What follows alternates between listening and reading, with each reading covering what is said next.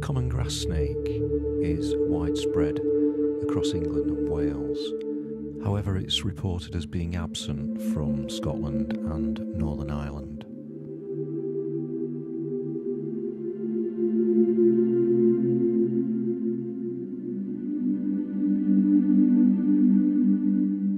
It's actually the longest reptile in the UK, and it normally varies between 3 and 5 feet long.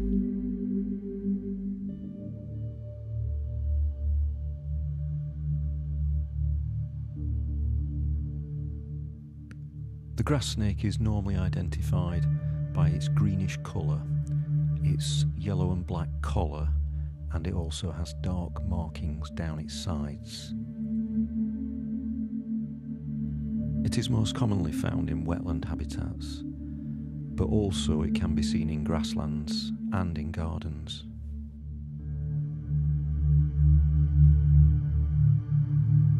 During warm weather, grass snakes can be found in garden ponds, and they can be seen basking on lily pads or swimming in the water hunting for prey.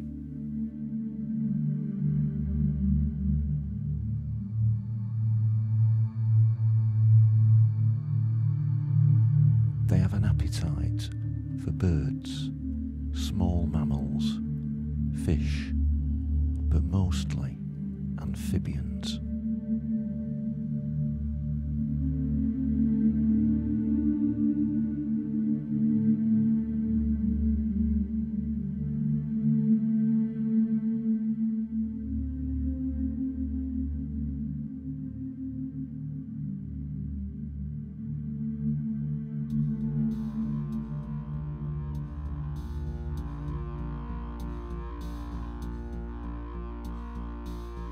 This snake was hunting newts, as there was a good population in this pond.